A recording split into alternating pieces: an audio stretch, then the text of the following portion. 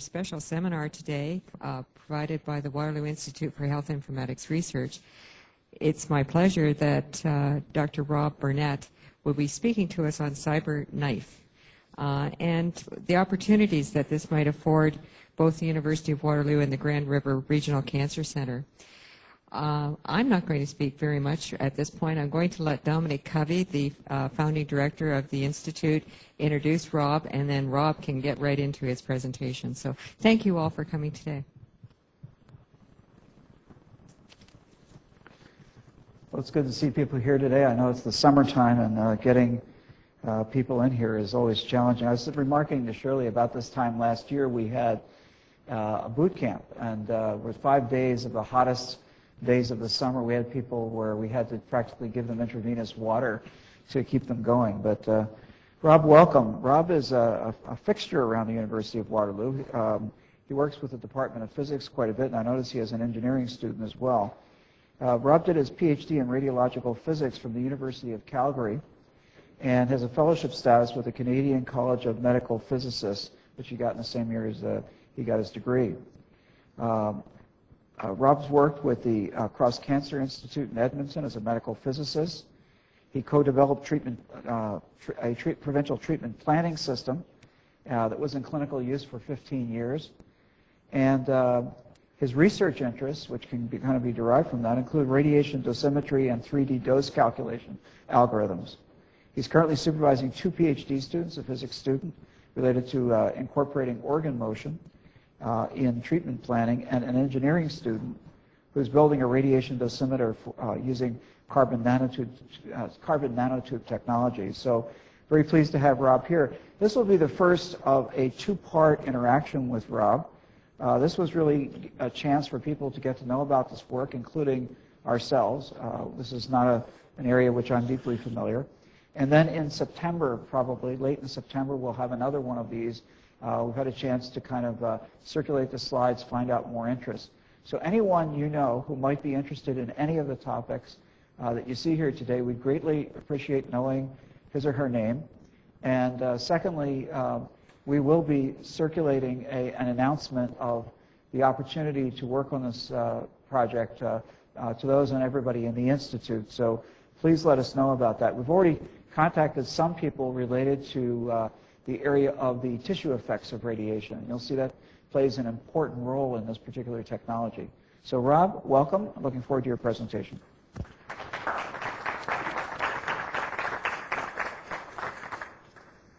Well, thank you very much for the introduction. And um, um, I'm actually presenting on behalf of um, uh, two other individuals that uh, make up the leadership of the radiation program at the Cancer Center. Um, Mark Berry is the um, clinical director, and uh, Dilip Panjwani um, is the MD. Um, he is the medical director.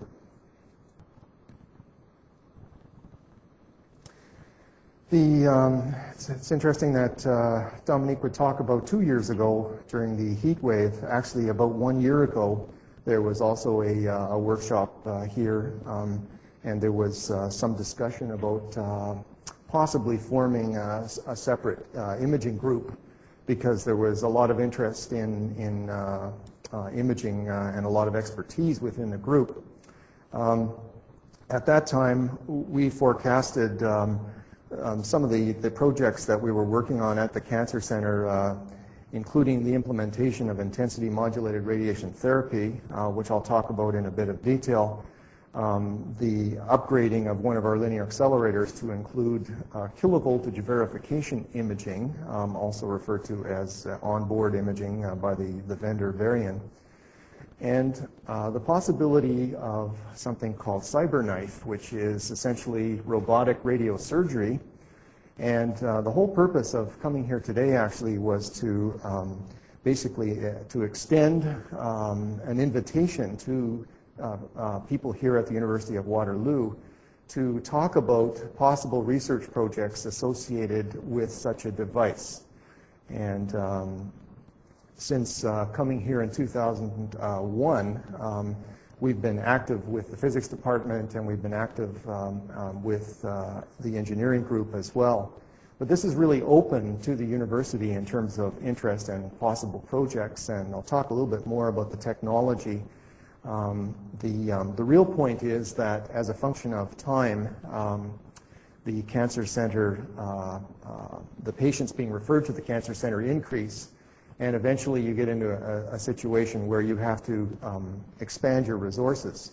And we're in a situation now where we're at the crossroads, and the question is, do we just go out and get a conventional linear accelerator and, uh, and, and, basically um, um, uh, just, just continue in a, in a, conservative way, or do we take hold of this as an opportunity to bring in newer technology? Um, and, and really that's what this talk is about, and, and the talk in the fall are going to be about.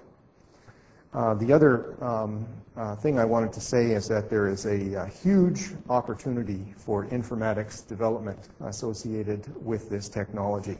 So that's actually a weakness with it. And uh, so I throw that out as well as that um, um, said this last year that uh, there was the opportunity uh, for that. But anyway, um, what I'm going to talk about before I, I detail robotic radiosurgery and CyberKnife is uh, essentially the new paradigm in radiation oncology. And that paradigm is generally referred to as adaptive radiation therapy or image-guided radiation therapy. Um, and there's a number of uh, processes, sub-processes, all vital to basically the implementation of this, or full implementation of this. And um, just going from top to bottom on the side, um, you need to have um, different um, uh, imaging modalities uh, working for you. Um, the CT, uh, conventional CT, is no longer um, no longer actually provides uh, sufficient soft tissue contrast for all of the, the cancers that you want to treat. Um, functional imaging uh, through PET is also extremely important, particularly for, for lung patients in terms of identifying what we will, will, will, refer to as the the planning target volume um, that, um, that we basically deliver radiation to. Um, in addition, you need to have uh, fast and efficient contouring tools or segmentation tools. And so when you have the digital anatomy, you need to be able to sweep through the anatomy and identify uh, contours and, and uh, regions um, that in fact become part of an objective function um, in the planning process. And so what you do is you basically identify uh, target volumes and volumes that you want to avoid with the radiation, and then set up a, an objective function, um, and you basically um, um, optimize the radiation coverage uh, from that objective function. And uh, the technology uh, as well requires being able to shape the radiation fields. To shape the radiation fields, we're working with a technology called multi-leaf collimation and this is interleaved tungsten alloy materials that basically we can control the position and the duration of stay so that you can dynamically or statically define the radiation which emerges from the uh, head of the uh, linear accelerator. Um, so that's a very key uh, piece of this puzzle as well. And then um, uh, lastly, um, and this is where the image guided piece is, um, is, is, um, is, is really detailed. You need to have verification imaging. You need to know that the planned radiation, in fact, was delivered. Um, and, and if it wasn't, you need to know potentially how you're going to re-steer it, um, re-optimize. And so you need to have verification imaging technology built onto your treatment unit. Um, and then lastly, the informatics piece, which is huge. Um, the amount of data now, because everything is, is going towards image-guided technology, um, you need to have uh, the ability to store vast amounts of information. You need to be able to pull it up quickly. You need to be able to compare and make decisions on it on the fly. And so that piece is the real challenge uh, right now, frankly, in terms of moving forward with this, this uh, with image-guided technology. Now, what I'm describing to you is basically linear accelerator associated. And there are a number of new devices. One of them is uh, tomotherapy, helical tomotherapy. Um, this is a device where the patient is actually drawn through a, um, a, um, a, high energy, um, uh, well, a, a, linear accelerator, but it also has megavoltage imaging capability in it. And another technology is uh, CyberKnife, which is robotic radiosurgery. And the CyberKnife technology is such that the, um, the delivery of the radiation is actually part of a tracking system. And so you define the tumor, and the system is actually tracking with uh, uh, motion, uh, for example, for a lung tumor. And um, the idea is that um, you are delivering the radiation uh, very precisely. Um, as part of clinical trials, um, there is a group called the Advanced, uh, I'm sorry, there is a group called the Advanced Technology um, uh, Consortium. And this group was formed um, at an ASTRO meeting uh, several years ago. And um, what, they, what they did basically was put together um, a, an infrastructure that allows you to share information with new technologies in particular. And so right now they're on the leading edge of what, what I would call a DICOM RT-based PACS system, allowing you to, to uh, uh, share information and store and retrieve information related to DICOM RT structures. Um, and I won't uh, waste a, a, lot of time talking in detail about this. But it's this informatics piece that we need to basically come to grips with um, um, as, as a part of moving forward with image-guided radiation therapy. Um, I mentioned adaptive radiation therapy. Adaptive radiation therapy is a superset of image-guided radiation therapy, and really what you're talking about with adaptive radiation therapy is a feedback loop on the imaging piece. Because as we treat patients, tumors regress, um, patient's anatomy changes. And so you need to deal with the fact that if you're trying to avoid parotid as part of a head and neck treatment, that uh, the, the tumor itself may be shrinking. And so the proximity of the parotid to that tumor uh, will be changing. And so you need to dynamically decide whether or not the original plan is suitable partway along the, the radiation delivery. Um, and, and um, part of uh, what's currently being referred to as adaptive radiation therapy includes deformable dose registration. Um, so these, uh, these are techniques that right now are part of um, uh, what's called adaptive radiation therapy. And this particular diagram was stolen from uh, um, an address uh, given at ASTRO last year by Dr. Uh, Kupelian. Um, and just stealing his slide on the upper left-hand side, you're going from basically 3D conformal IMRT with imaging techniques uh, in the room, generally referred to as image-guided uh, technique, to dose evalu evaluation techniques, so dose-guided radiation therapy. And dose-guided radiation therapy um, uh, predominantly now is, is, is, basically being offered through technologies such as tomotherapy, um, but could be part of what CyberKnife is as well. It's just that.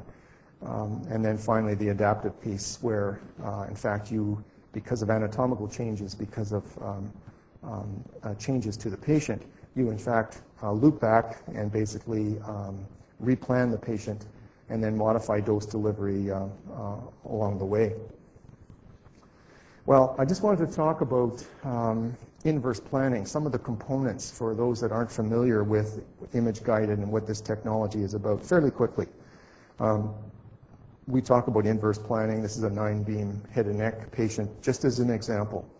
Um, P3 IMRT is a commercial product we work with. Uh, it's um, offered by Philips. Um, the treatment planning system is called Pinnacle. And what you have basically is the digital anatomy of the patient. And I mentioned before you have to identify contours which are, are part of the patient's treatment, uh, planning target volume, organs at risk that you want to avoid. And then associated with those objects are uh, dosimetry constraints. And within the, the, um, the Pinnacle infrastructure, um, we work with concepts, uh, um, uh, different concepts. Clearly, the dose at a point is the simplest to understand we also work with a dose volume histogram, which represents um, basically the volume uh, coverage associated um, with, with the structure. And you can define um, um what you want in terms of the weighting and um, the exact coverage and the exact avoidance. Um, and then you go through an optimization process whereby you're basically minimizing uh, an objective function. And um, from the initial constraints, the, um, the solution uh, to this, um, to this uh, problem is basically a fluence map for each of the directions that you've uh, pre-decided on. And so, in fact, um, this particular optimization problem is geared to shaping the intensity of of your beam in order to uh, provide the dose distribution that you're looking for. Shown on the lower left of this screen is basically that, that fluence map, and that really represents the ideal, it's a mathematical solution to the optimization problem. From the mathematical solution, you then have to connect to the technology that you have in-house. And so if you've got Siemens or you've got Elekta or you've got Varian, you translate that ideal fluence map basically to control points or to coordinates on the, the um, MLC, the collimation system that, uh, that you have. And um, so in our case, we have Varian, and what's, what's shown here basically um, are the number of segments, individual segments that are associated with one beam direction. And so for each of the beam directions, basically you've got a series of individual segments. Um, um, or uh, alternatively, you can deliver this dynamically. So in fact, there are two approaches uh, to, to the delivery. One is static, it's called step and shoot, and the other is dynamic, um, called, referred to by the vendor as sliding window. And then finally, having uh, translated your optimization solution into control points for your linear accelerator, you go back and you look at um, what's referred to here as the collapse cone or CC convolution dose distribution. And now you're looking at the dose on the individual slices to make sure that your coverage is, uh, is suitable. And then having done that, um, you go out and you do a lot of quality assurance testing. Uh, specifically, you have to verify that complex fluence uh, maps are in fact um, what, you, what you deliver.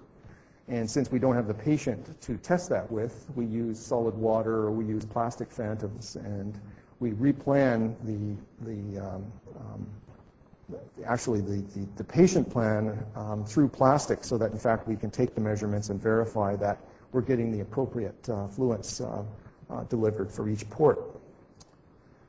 And it's also very important to make sure that the absolute dose, where it's prescribed, is in fact verified um, at individual points within, uh, within the phantom as well. And I'll just uh, um, quickly go through this. And so um, basically you're doing a comparison between measured, um, in this particular slide, you're using film dosimetry. So in fact, you're taking film and you're uh, digitizing it and you're comparing it um, to um, the uh, uh, calculated fluence. And the same approach can be taken for other sites as well. That was a head and neck example, but um, the same principles apply for uh, prostate uh, IMRT as well. So in a nutshell, that's um, IMRT.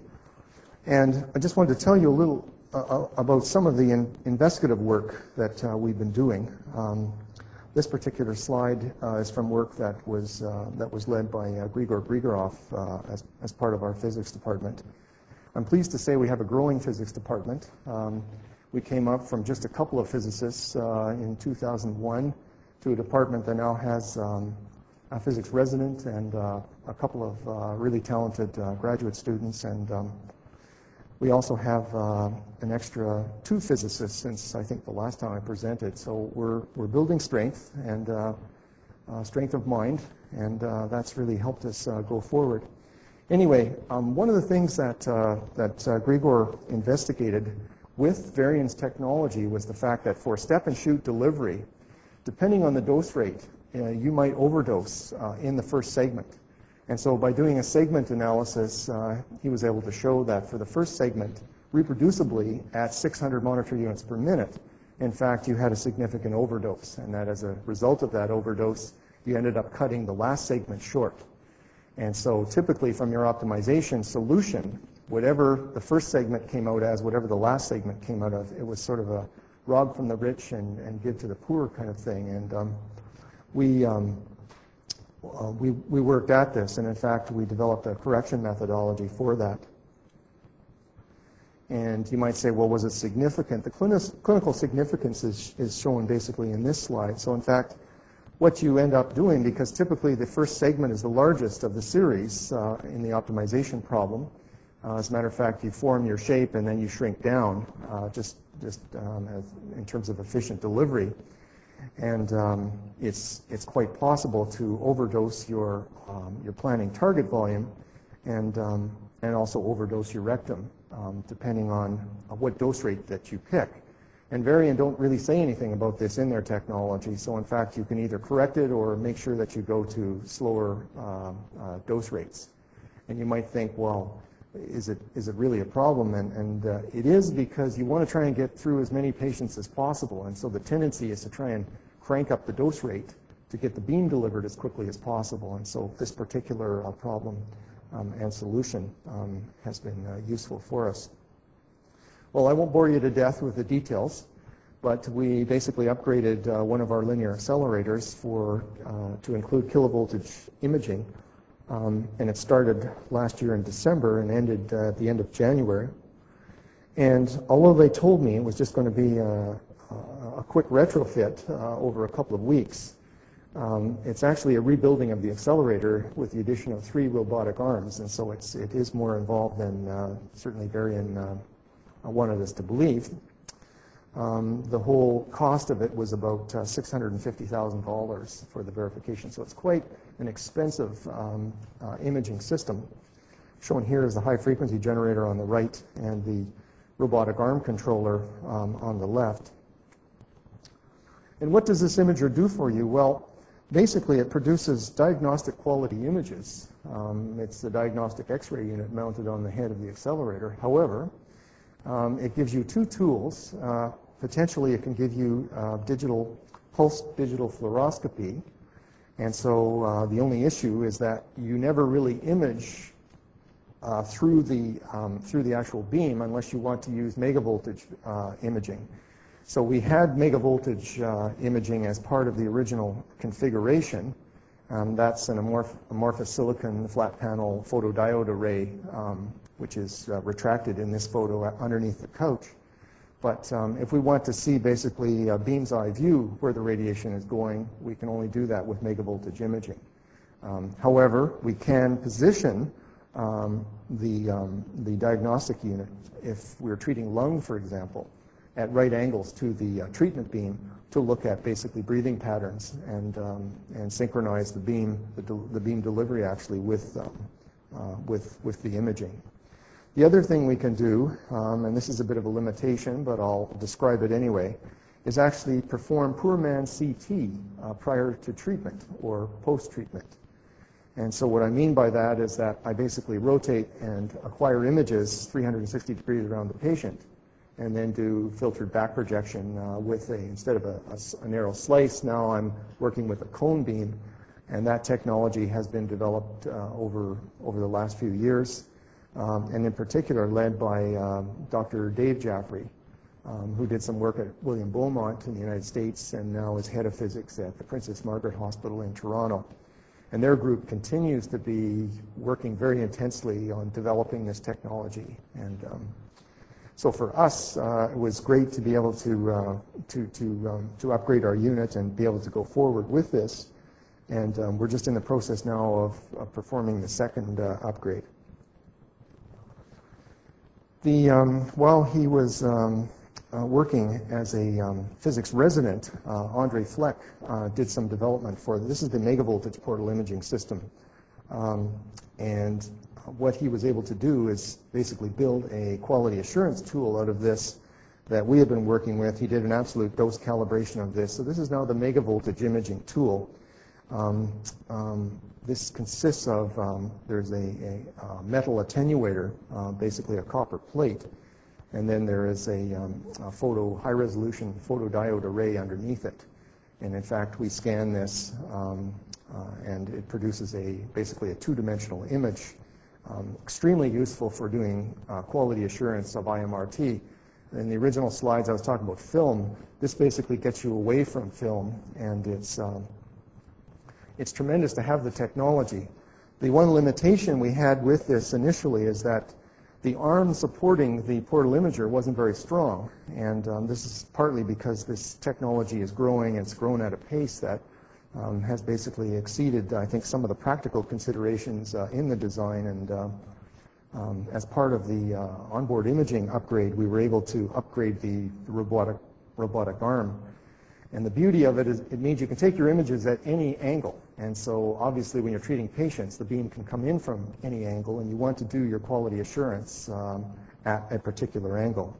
And so without with sparing you the details, basically you can acquire your image um, and um, Andre was able to basically calibrate this in terms of absorbed dose. The beauty is that I can pre-calculate um, the fluence um, through a, a, uh, a, patient or a, a, plastic phantom and verify that a particular uh, beam, um, and this could be a complex IMRT fluence pattern, is in fact correct coming through the phantom. So that's tremendously useful as part of IMRT quality assurance. Um, and I'll, Dominic asked me to stick to 45 minute delivery, so I'm going to pound through this a little bit here. Because we use MATLAB and we developed this in-house, we were able to develop simple tools for doing uh, comparisons. And so, in fact, we can look at profiles and we can look at uh, two-dimensional patterns. Um, the important part of this is that we were able to integrate it into our oncology information system. Uh, so specifically, we work with a product called VARIS, and it's important to be able to include all of the quality assurance measurements that you've taken as part of the patient record. And so, in fact, this was uh, integrated in with that. The uh, system itself um, has gone through an evolution in terms of um, the amount of uh, functionality and what you can do with images. This shows an initial version of the software in which I'm comparing a megavoltage image for a breast patient on the left-hand side. This is a digitally reconstructed radiograph um, from CT information, and I'm comparing it on the right-hand side with um, a properly scaled image, uh, uh, megavoltage image through that electronic portal imaging uh, uh, detector. However, we've also developed in-house uh, tools uh, for looking at, specific, specifically for looking at um, um, treatment reproducibility. And for prostate patients, for example, um, we've been, um, we've been in injecting them with gold seeds so as part of uh, initial biopsy, we've been implanting three gold seeds. Uh, the radiologists were trained to, to, do that. And in fact, we've been imaging them over a period, over a year now. And um, we've been looking at specifically how does the prostate move around as a function of time? And this is something that's been looked at by hundreds of different centers. Um, basically, the, the claim to fame that we make is that we did this in a very systematic fashion, and we were doing this for every fraction for several patients. So we have a data group now consisting of 20 patients where we have very detailed data. And I don't want to mislead you and make, make you think that we didn't use the information. In fact, correction in terms of patient position was made as a function of time for this study. Um, it's just that the initial errors, the initial um, differences between our reference images and the, the uh, um, treatment images uh, in fact, um, were recorded as part of, as part of this detailed study. Um, software developed in-house by Ernest Osei actually um, has made this a lot easier for us. And um, another person participating in this is uh, Zhang. Uh, Zhang um, is a seasoned graduate student. Uh, she already had a PhD um, when she came to us from China. Um, but um, she's working on basically a North American PhD um, uh, with uh, Jeff Chen and myself. And she's done some very good work as well. And in particular, um, she's looking at um, um, incorporating organ motion into the treatment planning process. So the treatment planning process that I described initially is really a static process. So you take a, a snapshot of the anatomy and in fact, you perform those calculations on a static anatomy. But in fact, we're all moving. Uh, we've got um, um, uh, hopefully hearts beating and lungs pumping, and uh, we, um, we want to keep it that way. And we also want to incorporate organ motion into the treatment planning process to better understand what the, the, the, um, the real tolerances are, and in fact, uh, what our expectations are in terms of delivery of radiation and sparing critical organs.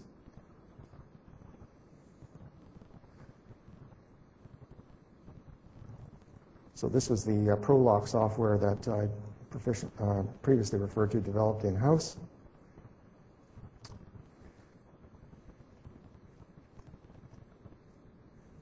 And so what we have here is a distribution of basically the position. So these, um, these data represent um, over time, basically, um, the difference between your reference images. So when you start the process, you tattoo the patient as part of the initial imaging process.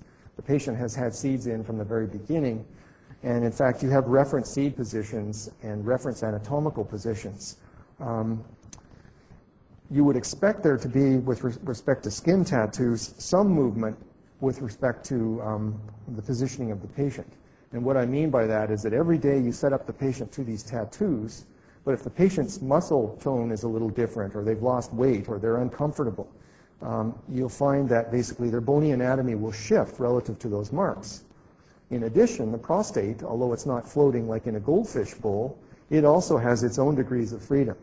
And so, in fact, as part of this study, we were looking at the seed positioning uh, displacement, positioning of bone, so bony landmarks. Uh, the seed position was defined basically by the center of mass of the seeds, uh, a vector in a, in a, plane that contains all three of them, um, relative to its initial position, and same thing with the bone. And in fact, the resultant, um, uh, um, the resultant distribution reflects that uh, first of all, the motion in the, the, um, the different directions, the different orthogonal directions, um, is different. Um, shown here are AP, left, right, and sup inf uh, directions.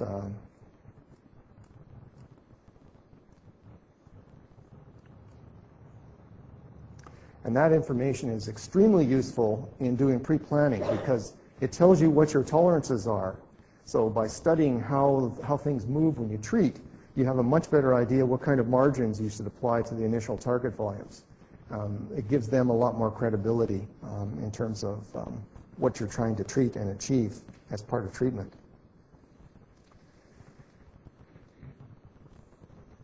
The other thing we looked at basically was, was how to, um, to incorporate the, uh, this movement uh, into the dose calculations and it's been fairly well published that if you use a probability density function um, for the contours of patients, um, that the uh, convolution of that probability density function uh, with the static dose will give you, in fact, a reasonable picture of how, of, of how the dose changes with internal organ motion. So if you were able to map the, the, um, the motion of all your internal organs with different probability density functions, and you had access to all that data, you could plow through this and in fact come up with a um, um, essentially a three-dimensional um, um representation of how the dose relative to the static distribution uh, was affected. But another way to look at this is that um, you can in fact uh, take the directional derivative. So if you know something a priori about the motion, um, in fact, you can look along particular directions, and uh, with a bit of math, it can be shown that if I know what the directional uh, um, derivative is, I can convolve that with the probability density function and then integrate that along a pathway to determine how the dose is, the dose profile is modified along that direction.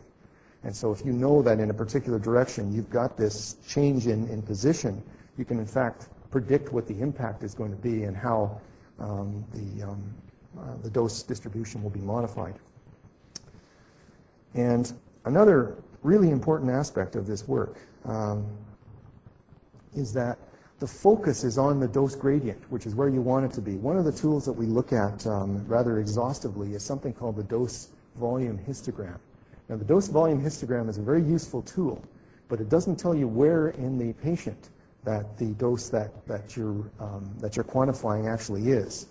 Um, the dose gradient is something that you would expect coming through the optimizer, coming through commercial optimizers, would be basically uh, as steep as it could be. But the interesting thing is when you look at a lot of optimization solutions, they just satisfy your basic objective. They don't go any further than that. And so for a number of patients, we've found that you need to look carefully at the dose gradient. And that could be an exhaustive process if you have to look at it in every possible direction.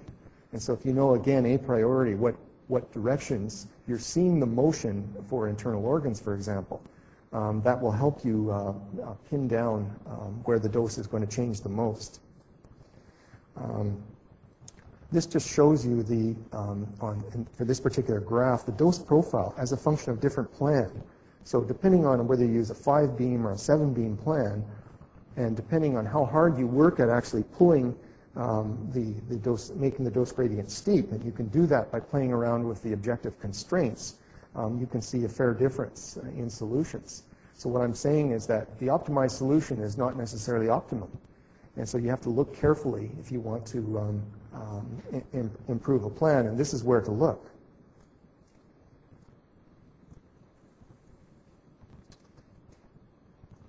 And you need to look in, in, uh, in planes that, um, that are um, um, not necessarily in the direction of, of the motion. You need to look in, in several principal planes.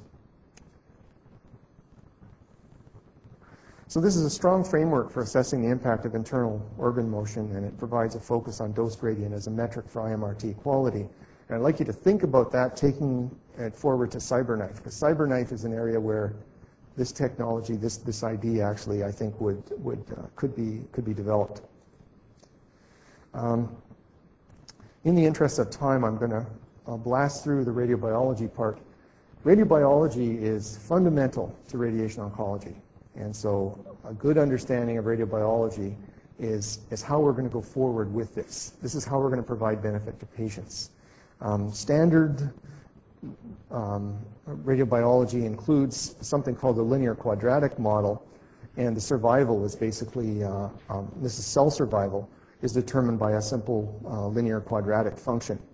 In this particular relationship, n is the number of fractions, uh, d is the dose per fractions, and alpha and beta are coefficients applying to a particular cell type. In practice, alpha and beta are different for cell types, and they're different even for the same cell type in, in, um, in different tumors. And so this is not an exact science, is the message, but the principles um, are very useful.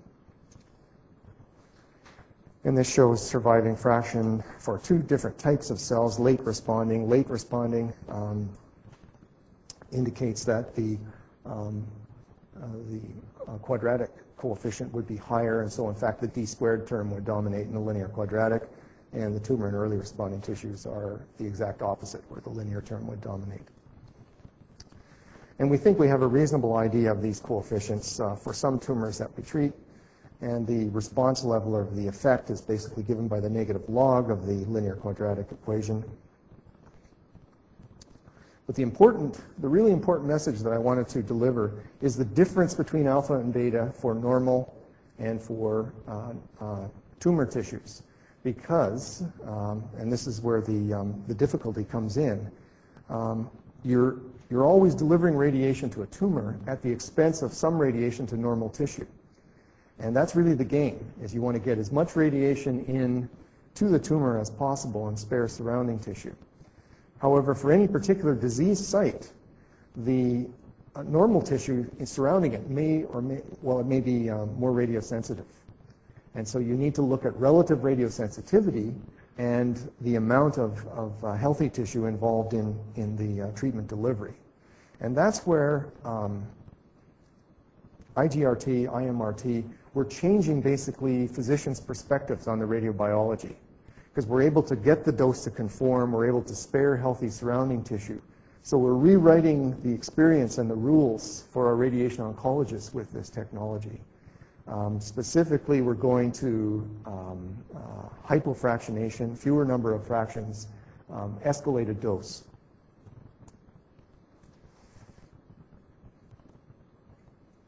Although the four R's of radiobiology still apply, um, we need to be looking at them in a different context.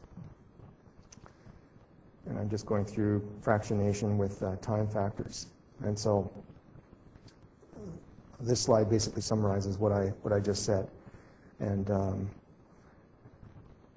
with something like CyberKnife, where in fact you can deliver the radiation very precisely, very conformally, um, the question is, can you do it and only consider the tumor itself and forget all about the alpha and beta of normal tissue? That's really what it comes down to. Can I focus on the tumor characteristics alone in eradicating it? Well, the, um, the next uh, series of uh, slides are essentially the commercial, and I apologize for them in advance. Um, I just borrowed them because they were actually quite useful. We don't have CyberKnife technology yet. I did go to Beth Israel in Boston and had a good look at the treatment planning system and talked to the physicists there. Um, this represents um, uh, basically the um, what, I, what, I, what I call now the pinnacle of IGRT technology, in that, as I said, the beam actually tracks with the tumor. And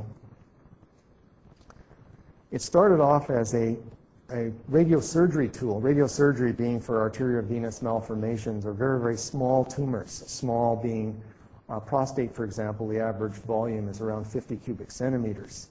Um, so the kinds of tumors that you would treat with this technology are below 50 cubic centimeters typically, um, which means that it is somewhat limited.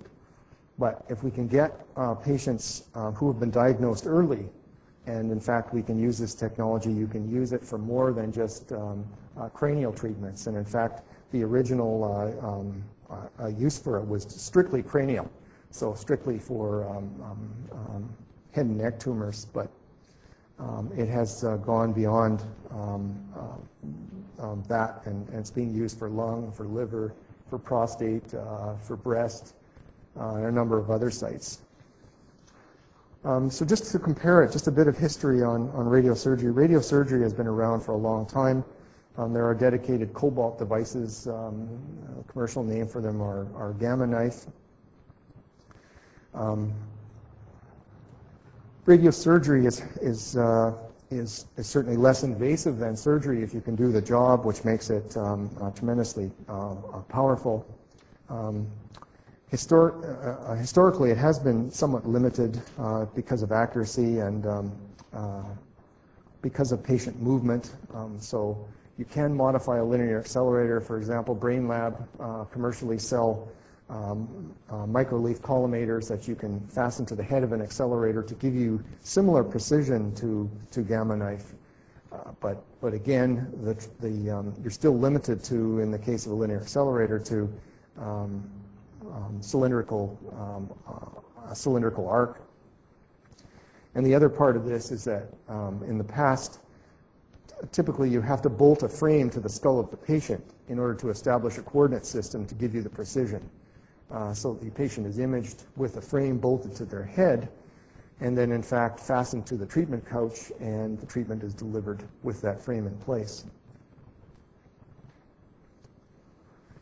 So uh, where does CyberKnife come in? Well, CyberKnife actually, um, it allows you to, to deliver radiation anywhere in the body um, and it, it, they are claiming sub-millimeter accuracy.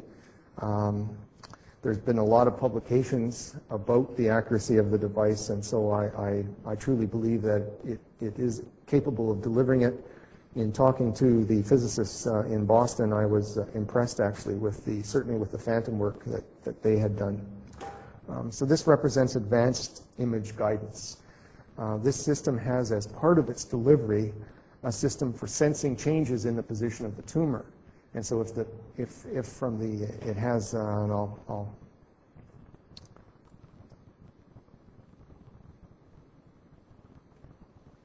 So as part of this device, it has basically overhead uh, two X-ray units that um, expose uh, amorphous silicon flat panel detectors in the floor. And it's, it, it, they are fixed in space. And in fact, um, the coach is designed so that you can move the patient uh, and to, to acquire these images. But um, the point is that whatever your reference images are, whatever your, um, uh, your, your DRRs, your reference DRRs, it can calculate them on the fly and detect, for example, without any fixation device, whether the tumor has changed position. And so, in fact, this robotic arm painstakingly goes through um, uh, temporal uh, imaging, uh, dynamic imaging, um, to basically um, uh, track the tumor and deliver the prescribed radiation.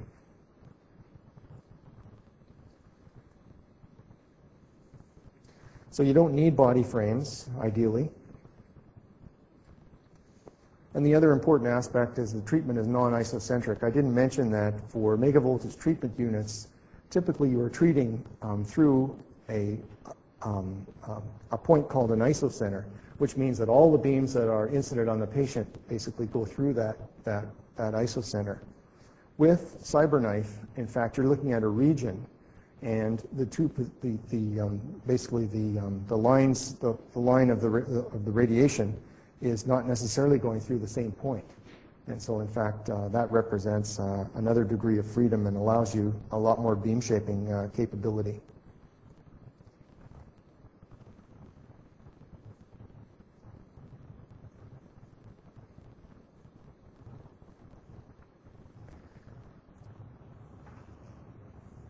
So some basic features, uh, 600 monitor unit per minute LINAC um, in-floor imaging system and um, a control detection system.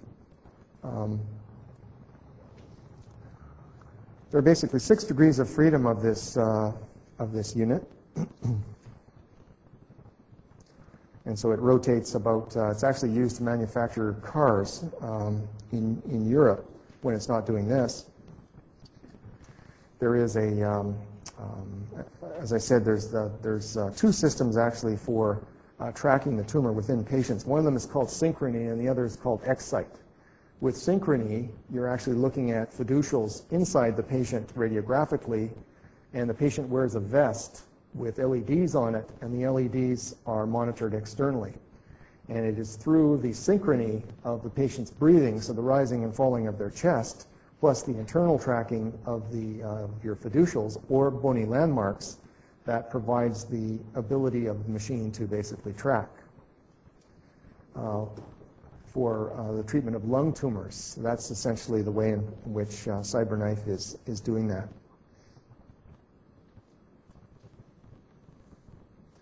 And yeah, forgive me for showing this slide.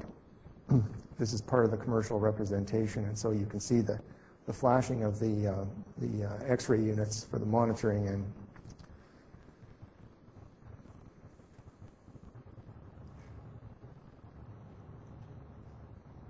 So the image detectors are in the floor.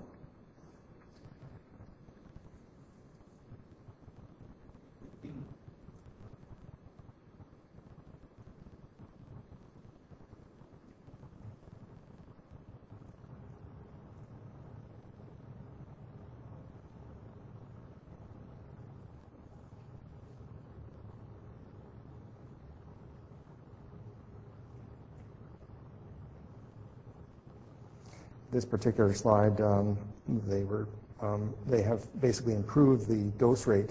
One of the areas that needs to be developed with CyberKnife is a larger field size. They have right now a system of collimators where the device, if it needs a larger shape, basically takes time, goes over, um, uh, pulls the collimator that, that's required off the shelf, and the process continues.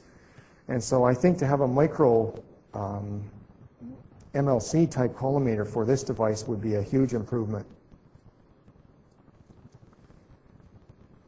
So this is the respiratory tracking system that I was talking about. On the right, you can see um, patient has a vest on, and this vest is basically imaged. The LEDs from that vest are imaged um, with a separate uh, camera system.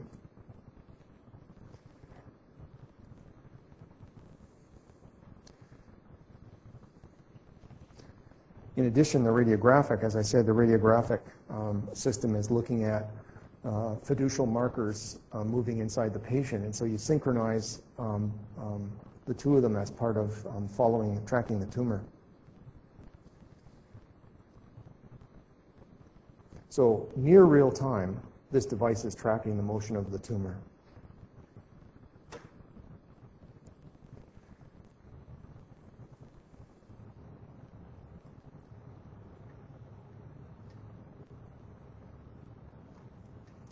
So a number of patients have been treated this way uh, uh, very successfully. There's been a lot of um, data published, fairly early data published. Um, the message from the, uh, the CyberKnife vendors is that um, you know, static pre-planning is not enough. And in fact, you have to track because the patient moves. And even with the mobilization devices, uh, there is internal organ motion. And so uh, you need to have a system like this if you really want to offer image-guided radiation therapy. And so they have a separate system called Xsight. Um, this turns out to be a uh, 2D to 2D image co-registration between um, DRRs that you uh, reference DRRs and images taken through the, the imaging system.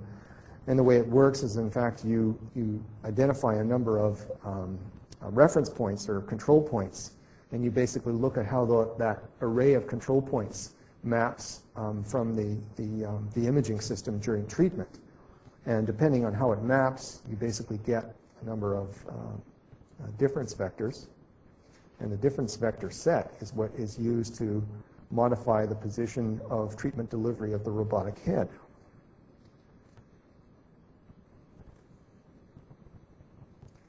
So I have reference um, digitally reconstructed radiographs from CT, and I have a grid on those representing my control points, and then I map my control points so it warps depending on the uh, motion of the patient. And I get these displacement fields, which then become part of the, um, the information that's used to change the position of the robotic head during delivery.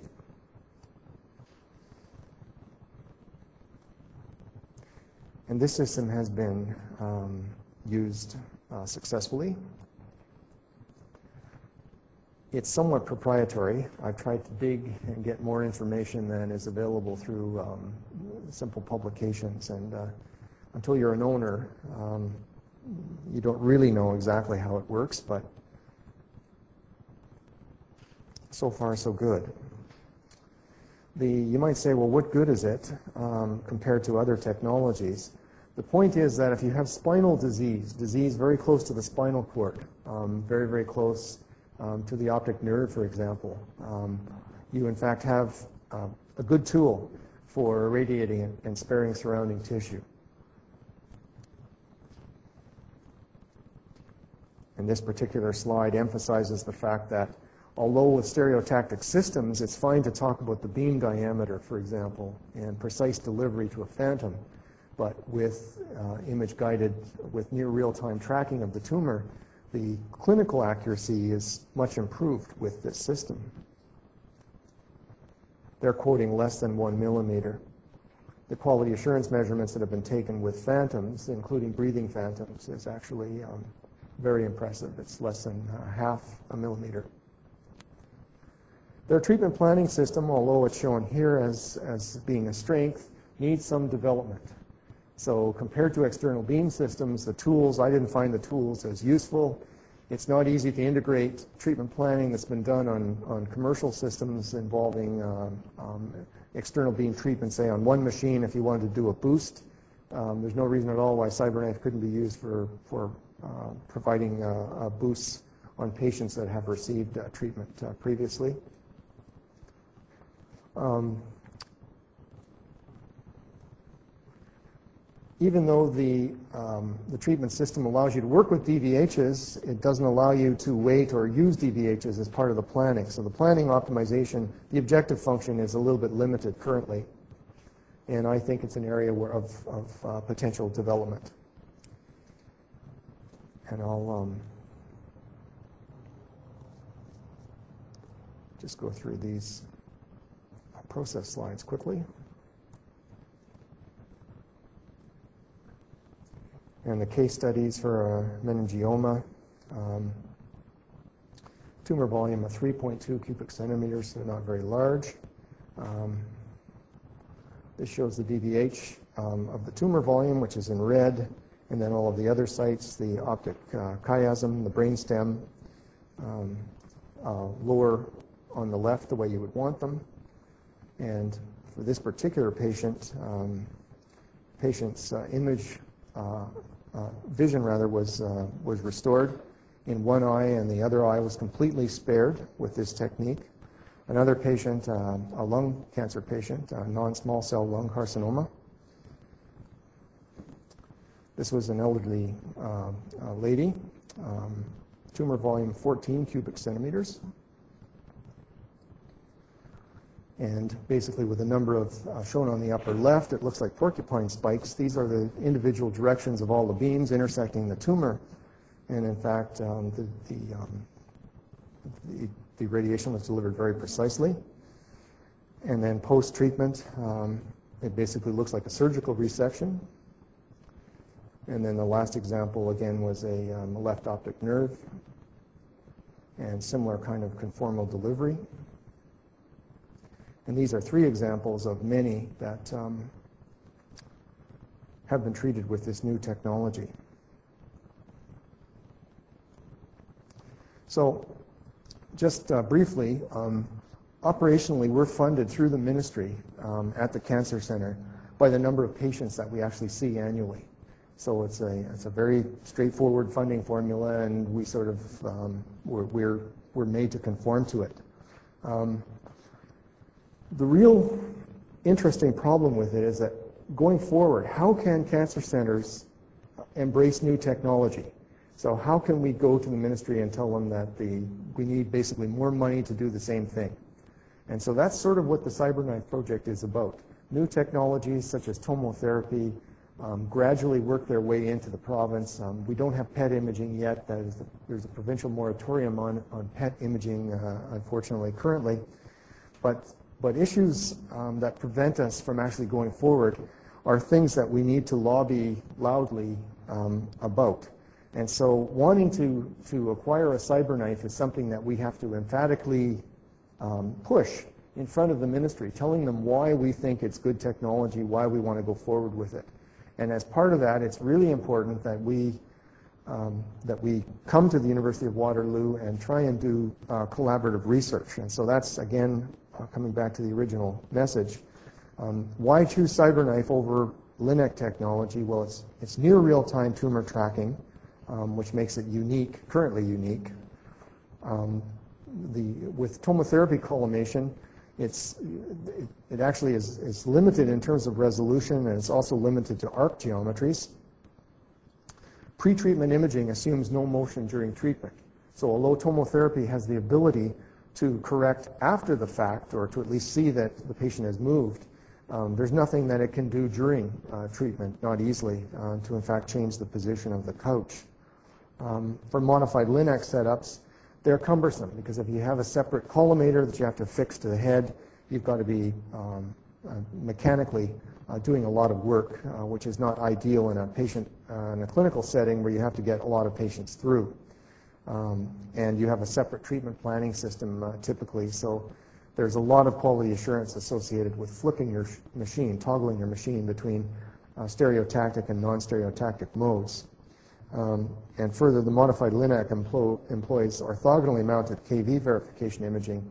So real-time KV imaging may not be available in the direction of the treatment beam, and I talked about that initially. So that's, that's a, a problem with it. Um, so there's unique potential for the University of Waterloo and, and Grand River Regional Cancer Center um, uh, to, um, to pursue CyberKnife. Uh, first of all, patients will benefit from this technology, there is no doubt. Um, it will help us to acquire, right now we don't have uh, neurosurgeons in the region. Um, even though we can use this technology at a distance, we'd like to try and attract neurosurgeons uh, to this area. This is one way of doing it. There's a lot of expertise here at the University of Waterloo. Um, um, we can certainly employ that in a number of different directions to improve this, this technology. We believe we have expertise. We've demonstrated some of that in the front end of this talk. Um, we currently have an empty bunker um, that you could put a LINAC into or you could put a CyberKnife into. So um, that um, is unique as well. That kind of real estate isn't around. Um, we just uh, um, we just happen to be in that position right now, so it, makes it uh, extremely attractive. Informatics, uh, in terms of uh, research and development opportunities, uh, development of treatment verification and evaluation tools, image management tools, um, the, uh, the interesting thing is when you look across the region, um, Cambridge Memorial has Philips PACS, St. Mary's has AGFA PACS, we have Siemens PACS. It would be great if we had some kind of regional, um, I'll call it DICOM RT PACS uh, that, uh, and, and there's, I think, great potential for that to be developed right here. um, I believe we can improve the real-time tumor tracking system. I think Xsight and Synchrony are, are decent tools, but it looked to me that there's a lot of, a lot of potential for improving those. The treatment, treatment planning system improvement to me is obvious as well. Um, inverse optimization to include dose gradient. As I mentioned before, the dose gradient is something that um, when you look at the CyberKnife dose distributions, it's clear that the dose gradient from those distributions is greater than the dose gradient from LINAC-based systems. So in fact, you can see that it conforms, but nobody's really picked up on this and quantifying the, that particular aspect of the treatment planning. Um, the, um, the important aspect, again, with CyberKnife is that you're, you're tracking the tumor real time. So that is, that is, that gain is realized by the patient. That's not potential gain on a plan that may or may not be delivered by the LINAC. So um, Monte Carlo dose modeling uh, is something that uh, could be considered. Um, right now, it's a fairly primitive dose model, and you might think, well, you don't need anything too sophisticated. It's a very narrow beam. You're not talking about scattered radiation. You're talking about simple attenuation along a ray line. Um, I think it's important that, um, that, that we look carefully at that, uh, particularly when you're going through bone and lung. Um, Development of large field dose delivery is something I, I mentioned the micro MLC as a, uh, as a possibility. And then finally, basic radiobiology, uh, the maximum uh, tolerated dose and hypofractionation. Going forward with this proposal, we've been working with um, Creativity um, out of Waterton, um, Hamilton. Um, and we have a proposal that we're working on internally, and we want to bring that to the to Cancer Care Ontario. The, um, the point is that we would like to have discussions with interested parties at University of Waterloo and have potential research ideas, uh, plans going forward to present with that. Um, and so we need to try and, um, we, need, we need to encourage these discussions. We need to get some ideas. Uh, we need to get some feedback. Um, so that was the purpose of this talk, and I guess we'll run it again in the fall or something similar. Um, and we want to uh, submit this formally in the fall. Um, it's going forward to, to, some degree right now, but essentially, um, we would sure like to work with you. Um, it's been our goal all along to do that. I think looking out in the audience, um, I see the face of at least one person that has the remember me look. And um, when we first came in, we had uh, visions of grandeur, and we haven't been able to live up to that uh, to the degree that I would have liked um, largely because uh, putting together a new cancer center has been uh, resource consuming and we lost a few people along the way and so we had to step back a little bit. But as I said, we've gained uh, a few new minds in the department and we want to step forward again. And uh, so we want to, um, to, we want, we want to initiate a new discussion and uh, hopefully we can establish, uh, looking at Dominic, a new commitment. Um, so that's all I have to say. questions?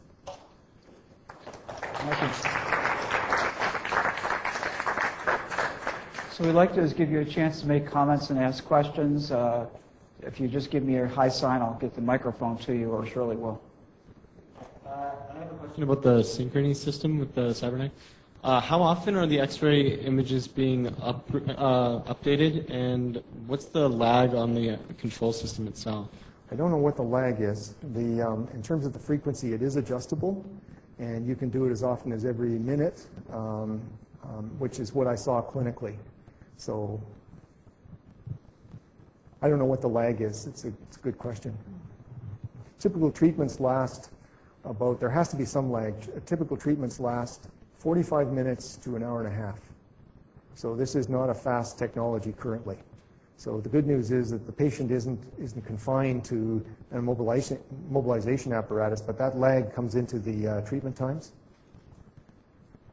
Jeff. Um, Son, uh, you had mentioned a couple years ago about uh, Calypso, I think it was called, the Calypso GPS sort of thing. Any uh, movement on that, or? Still non-clinical, so it's still undergoing clinical trials, but there has been some really good uh, information reported with it. What Jeff is referring to is uh, essentially uh, transducers that are implanted surgically, um, which have the ability to be detected with um, um, basically electromagnetic technology. So in fact, um, without the use of radiation, you can in fact look at motion of the prostate and basically connect it, use it to control whether or not you continue to treat a patient. And so if you know where the prostate should be, for example, if they're implanted in the prostate, you can in fact monitor them uh, during treatment. And if in fact the position of the prostate varies, goes outside of tolerance, then you'd stop and you'd uh, reposition the patient and then continue treating. But that, that is a very, that technology is actually, um, it is going forward. Um, also, uh, with the CyberKnife, do they actually, you know, when, when the, the tumor is moving, and fine, you can track the tumor, but what about the other tissues nearby? And uh, they don't explicitly track the optic nerve. Well, I guess if it's, if it's in the head, I guess they assume it's all fixed. But what about uh, something in the soft tissue in the abdomen or something? They don't explicitly track anything other than the tumor. Not that sophisticated yet, but again, uh, reasonable direction for development. Next, next year. Go ahead, you're next. Uh, First, I'd like to thank for your uh, uh, very informative presentation. Um, I have two questions. The first one, I'd like to know how do you measure the radiation effect on the uh, tissue phantom? Um, The second, t- uh, the second question is, is your tracking algorithm um, a linear base, a linear model base, or do you use any nonlinear um, systems? The, um, and I'm sorry to say that um, I, I wasn't able to get the information I wanted to present on the tracking system. It is proprietary, and you, they have a CyberKnife users group. Uh, sorry to, to, to sort of sidestep your question for a second, but um, you can't get near the information you want really until you sort of sign on the dotted line. And uh, it's a bit of a frustration. In talking to the physicists, um, some of the people that I think should know more about how the, the, the system works uh, don't. And uh, so it's, it's um, something that I think as we pursue, um, we'll be able to get more information on. But I can't tell you the, I, I haven't seen the model, I haven't seen good, what I would call good white papers describing to me um, satisfactorily how this technology really works. Um, in terms of the phantom information, um, I'm not exactly sure what you mean. Um, you, um, maybe I didn't make it clear. The kind of phantoms that you can design are, are basically breathing phantoms or phantoms that um, um, have motion associated with them, programmable motion. And then the point is that um, the studies that have been done so far have basically um, set the, the motion of the object uh, to um, extreme frequencies and extreme amplitudes in order to see how well it could track. And for the most part, within the, the, um, the, the kind of model parameters that you would need to, uh, to use for breathing, um, it, it tracks satisfactorily uh, to, again, to a precision of less than a millimeter. Right. I mean, um, the radiation effect of tissue phantom, um, for example, do you measure its temperature after uh, the radiation? Or do you measure the, uh, the change of uh, properties uh, of, the, of the phantom? You can use different, different um, uh, dosimeters. Typically, we use ionization dosimeters. Um, you can use film. Um, I mentioned at the beginning that we have these amorphous silicon flat panel monitors.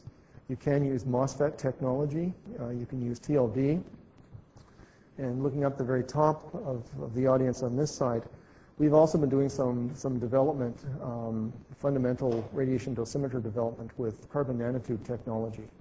And I've been working with Xiaozi Ma and, uh, and uh, uh, John Yeow uh, on that as well. Sorry, did I answer, did I answer your question, or are you still not? All right. Sorry, I think that your question is not uh, very mm, accurately stated because uh, any phantom has no radiobiological effect. Uh, the phantom is not uh, a human tissue. The water is not a human tissue. So anything which, what you measure in the phantom uh, doesn't matter from what material is. You have a normalization coefficient to transfer the measured dose to a stricter contour with specified alpha beta ratios. And after that, you can say if here was a patient on the place on the phantom with this kind of contour and deliver dose, the probable radiobiological effect would be this kind. Absorbed dose is energy per unit mass. There is a small temperature increase associated with the absorption of that energy, but in fact, it's 10 to the minus 4 degrees typically for the kinds of doses that we'd be delivering, so it's very tiny. Uh, you, you mentioned that the, the treatment time is much longer with the CyberKnife system. I was wondering, uh, is this uh, hypofractionated down to a single fraction, and uh, what kind of doses are involved? For some, for some some tumors, it, it has been. Um, And so you're looking at possibly uh, 30 gray or 30,000 centigray. Um, We would treat 50 gray over 30 fractions uh, for some of our conventional uh, treatments.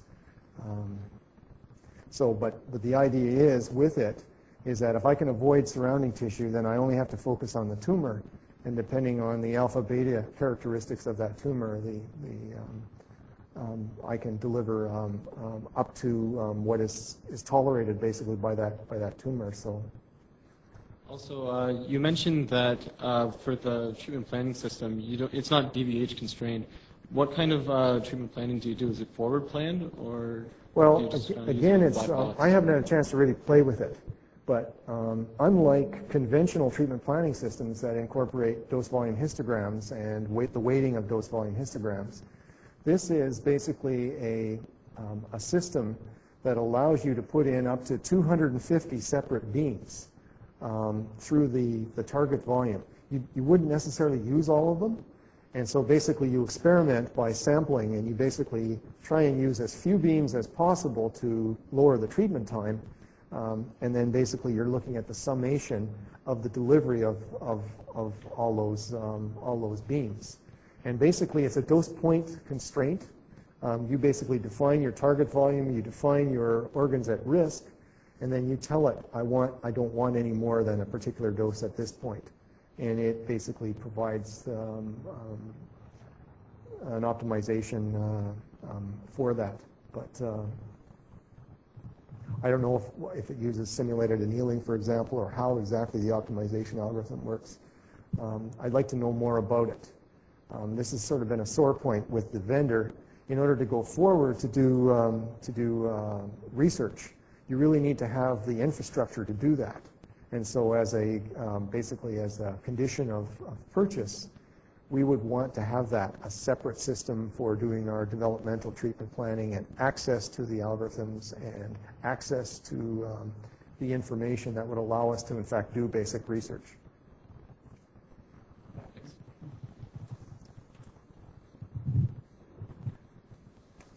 Good. I was going to Shirley do all the running. Hi, Rob. I'm trying to understand how does the uh, CyberKnife work. You have two X-ray um, generator on the top, and you're using that for imaging applications. And I guess the, uh, the the head at the end of the robotic arm is that a LINAC, or Yes, it is. so so the X-ray detector is well the generator on both sides. They're doing the imaging. It's, and it's it's doing it's doing the tracking through the the fiducial on the vest. All right. So initially, I've imaged the patient through CT, for example. And as part of the CT, I can generate digitally reconstructed radiographs corresponding to the, the exact direction of the beams in the ceiling through the patient. And so I have the reference images, and in addition to the reference images, um, I have, and that would be either uh, bony landmarks or I have fiducials. I would know where the tumor is relative to those fiducials. And so what I'm doing is I'm basically looking at how that position, the position of the tumor as detected through the original imaging, has changed relative to the current imaging.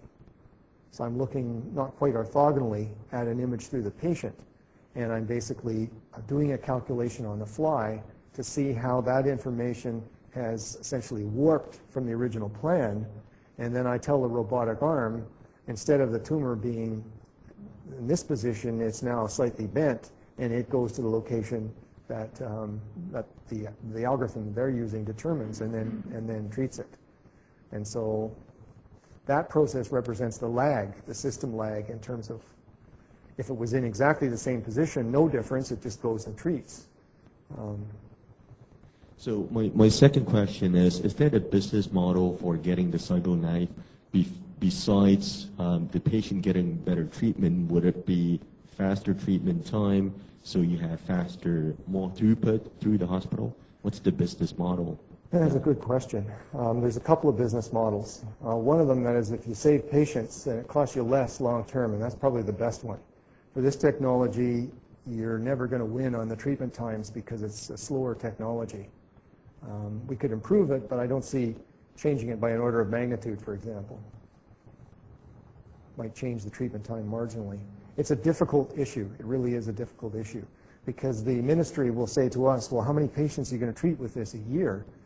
And, you know, by, I mean, we can sort of um, uh, fudge that a little bit by saying that we're using hypofractionation, so there's fewer fractions, takes longer, but we're going to give you the same number of patients through at the end of the year.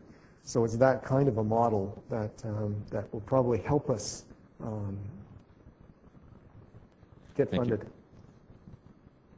A couple of uh, quick questions. Uh, One, I may have been dreaming, but I think I read in one of my journals that there are substances that can be injected into the, uh, taken up by the tumor that actually increase the absorption of the radiation within the tumor.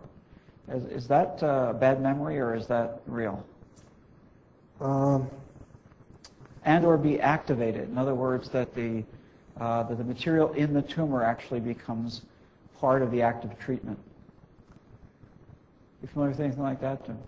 Well, essentially, the, for, at this energy, the absorption physics are, are governed by Compton interactions. Um, And Compton doesn't really have an atomic number preference. It basically, in terms of Strictly energy, it, it just sees electron clouds. Electron flow? So I'm not sure. If it was diagnostic, uh, yes, possibly, and if it was really high energy, um, but, but not at Compton energies. Okay, okay, so it's probably wrong, uh, wrong information. Second was, uh, you're indicating that a lot of the things with this are proprietary, and uh, what is the potential of working with the vendor? That would seem almost crucial in making a decision. If we can't get the information from the vendor, then it seems like we're impaired about any kind of significant research. Um, It's a good point, Dominic. Um, We've been working for about a year um, with Accuray as the company, and the, the problem is that um, I've really yet to speak to what I would consider as uh, like physicists or engineers that would give me the appropriate information, and it just, it's, uh, it's been a bit of a fight. But we've made it very clear, however, that we wouldn't purchase unless we had access to the appropriate research infrastructure. And um, so it's, uh, if they want to sell one to us, um, that's. I'm know, wondering if that's something where the university could bring such value to the table that it would be convincing. Without a doubt. In other words, you've got people like uh, Yeow and uh, others within the university that bring to them capabilities they may not have, and uh, they might see it then as being more attractive to, to open the doors, if you want, and provide the information. Does that make sense, or? It does. And uh, before purchase too, and I, I didn't mention this, uh, I, would like to go to USC where it's, where it's, where their primary development is taking place and talk to the appropriate people, and I've already lobbied for that. So, um, presumably, they would want non-disclosures and things like that, but they will. Yeah, that would be, that would be easily sealed. And um, the, uh, if I just quickly, just to finish this, could you, from your vantage point, if you had to name three areas of crucial research that would advance uh, the use of the CyberKnife and the value for patients, what would those three top areas of potential research be? Uh, Real-time tracking, Okay? Um, large field dose delivery, large field and, and more rapid dose delivery, and radiobiology. Radiobiology. Okay. Yeah. Well, uh, Rob, uh, any other questions before I? Thank you very, very much for this. Much appreciated.